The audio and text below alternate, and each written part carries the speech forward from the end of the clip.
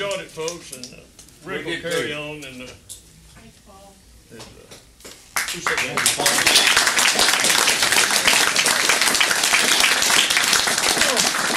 that? Paul, you- you're getting a standing oath from Susan Carson. Oh, course, she didn't have a seat. She's president. She's the president of my fan club. Yeah. I enjoyed it, uh, uh, folks, and so. Great, we enjoyed it. Thank you.